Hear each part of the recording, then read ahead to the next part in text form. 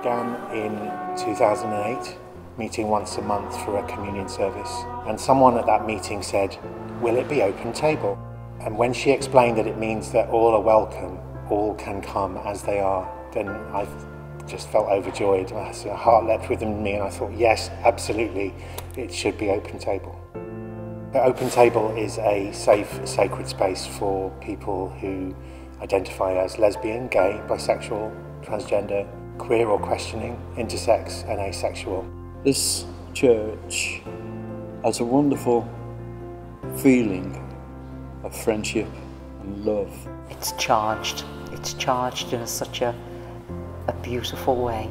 It feels like a little taste of God's kingdom, a little tiny bit of what the world should be like. So we felt there was a need for Open Table because uh, too many uh, people we knew um, and too many stories we'd heard of people who felt excluded from the church community or felt unheard or unable to express themselves or to give their talents.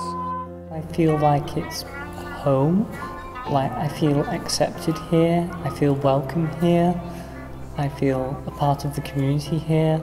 The expression that comes to mind for me is that all may be one, and we are very much one.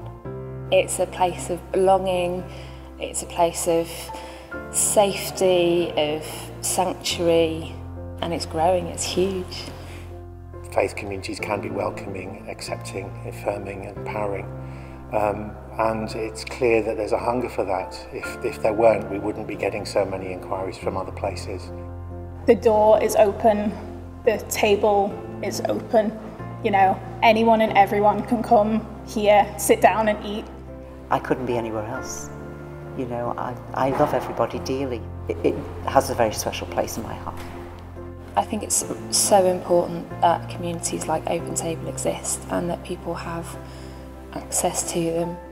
It gives other people hope, even if it's not something they yet find on their doorstep, to know that it's possible and that it exists elsewhere seems to be a sign of hope that change is, is possible.